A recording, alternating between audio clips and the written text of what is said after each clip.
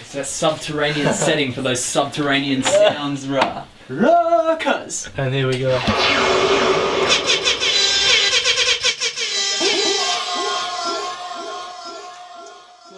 Welcome to Palazzo Caravella.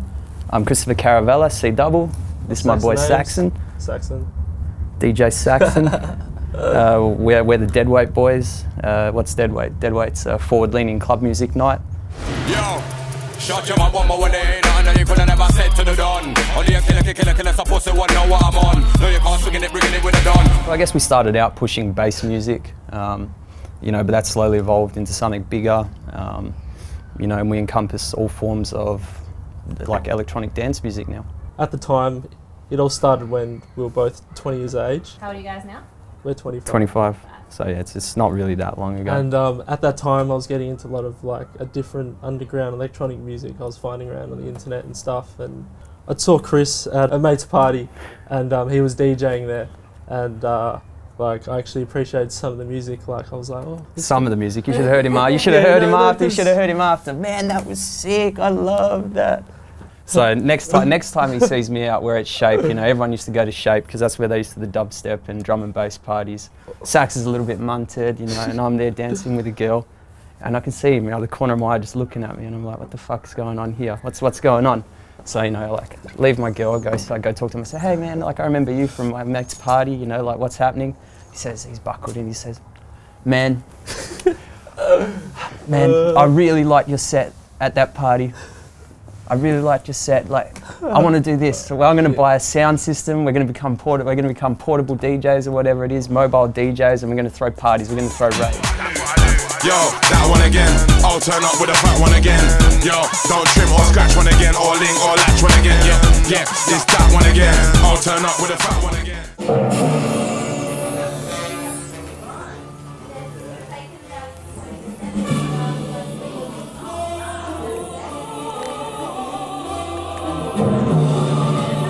So that's him there, bro, in the middle of it all.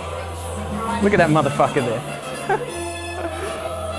The night of the bird was so good. Our first night of the bird. It was just Deadweight number one. We got you know the paper chain boys involved. We had uh, Kid Pop and Zeke doing like a showcase. Man, but to be honest, I don't think like we ever had a night where it was like, yeah, you know what, we've done a good job. I think it was like, you know, we beat ourselves up over it a lot. You know, it's always like you, you finish one night and you go home and you're like, man, it was good, but we could have done that better. You know, I think that's the one thing that kept us doing it over five years. You know, we always felt that there was room for improvement. You know, it's not like we ever, it's not like we ever felt like we'd plateaued or you know we'd, we'd reached the pinnacle of what we could do. You know, it's it's when it gets to one o'clock in the evening, you know, and like the night's in full swing, and you can take a step back. You can stand at the back of the room and watch the people having a good time. You can hear the sound, you know, the way that it's meant to be heard.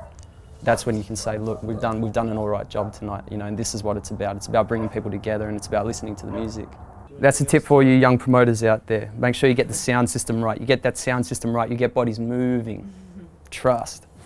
You know, I've been doing it since I was 15, you know, that's like all those records there. I started, buy, I started buying those records when I was 15 years old, you know, like if you're going to DJ, be diverse.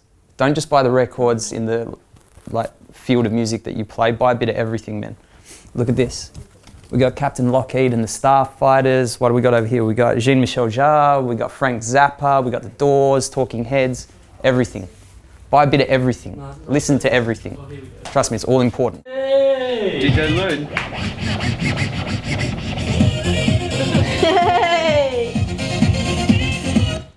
We've got the original art. Yeah. There's the original sketches and uh, design of them development. There. It's one of our sticker designs. I love that one. That's sick. The It's like it. our third party or something. That's the logo right there. Serious. Even got eyes on this one. But yeah, we that's got- a we- VIP logo. Yeah, we, we got a lot to thank him for. Um, Yeah. you know, Pretty much like your whole identity. yeah, For he, sure. he hit the nail on the head with that skull. It was instantly recognisable. It's, it's what we based the brand on, you know, it was like that. You know, it's, it's kind of lame now, but it's that deep, dark dungeon sewer sound shit, um, you know, that we've, we've all grown out of by now, but, you know, it's, it's what we fell in love with about the music. It was that dark room aesthetic. I've always been involved in like parties since like I was growing up, so it was kind of a little bit natural. My parents knew it was kind of coming, but uh, like they were all supportive, but they weren't at the same time because everyone knows what happens at at some parties. You know, like it's not always the most honest things.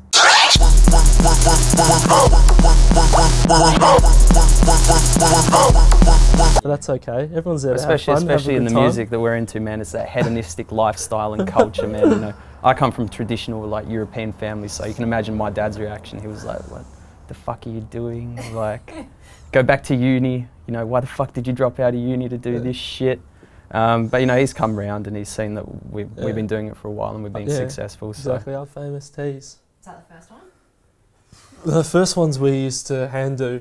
yeah, we hand we made printed, our them- made hand our own, printed them in my kitchen. made our own silk screens, and but there a lot of them are long gone there. It was, if, man, for me, it was that DIY rave thing. Put you the know. little logo on here or a big one on the back, and that was it.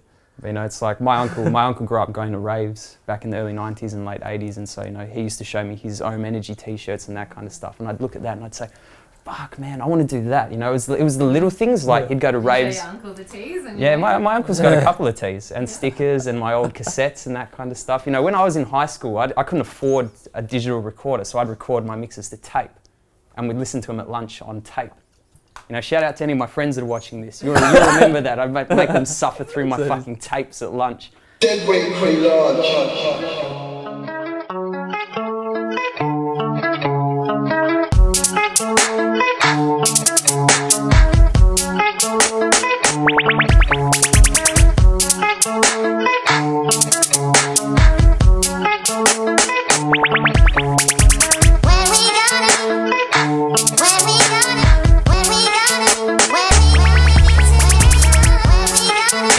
Yeah, this is to all the people that don't believe I have Italian records.